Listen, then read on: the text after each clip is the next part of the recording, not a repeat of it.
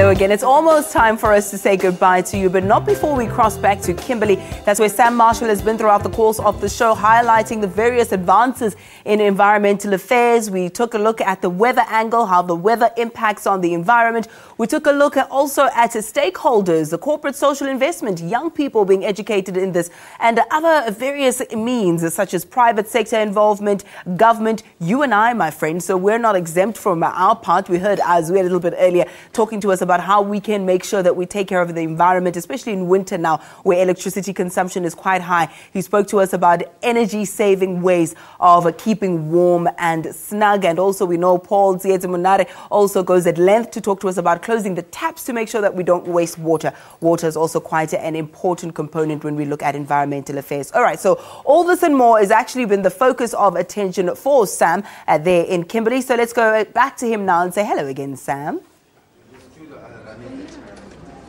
Hello, Yana. Yo, let's uh, wrap this conversation up. But I'm gonna tell you, there's a buzz of excitement here at the uh, at the convention center. Loads of eyes, loads of people interested in what's happening and how a World Environmental Day impacts on us personally.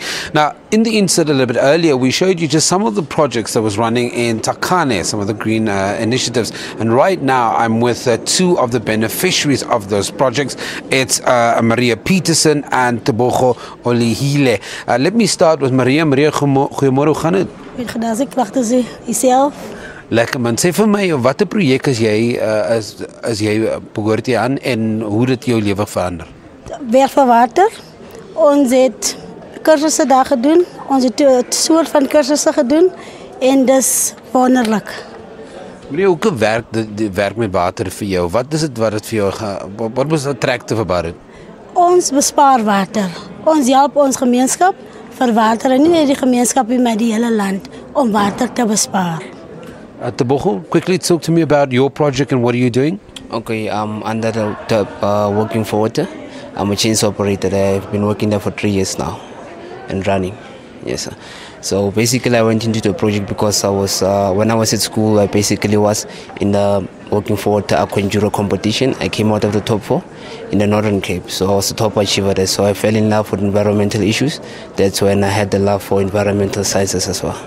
Okay, guys, we've run out of time, but thank you very much for joining us. Just two of the beneficiaries from the various projects that's been running in this part of the country. I did tell you that yesterday, of course, officially was a, a World Environmental Day, but today we're celebrating it here in South Africa, and it's all about unpacking the benefits of the environment for you. We spoke to various experts. We even, in actual fact, spent some time in an electric car, a fully electric vehicle, and uh, we found out the benefits of how South Africa is changing the electric grid how major car makers are working on creating an electric uh, grid for hybrid and electric cars.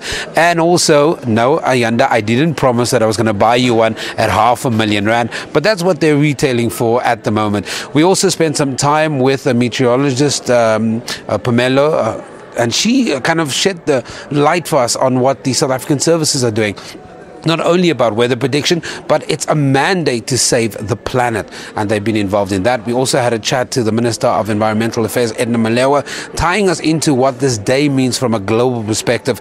140 countries taking part in World Environmental Day. This, in actual fact, is World Environmental Month. On Monday, we'll have World Ocean Day. So we all have our bit to play. And this year's theme, of course, 7 billion dreams, one planet con- consume with uh, with care. Okay, that's where we leave it from Kimberley. Let's go back to the studio. But from us, it's been a fantastic broadcast. Join us again tomorrow here on Morning Live. Ciao, ciao.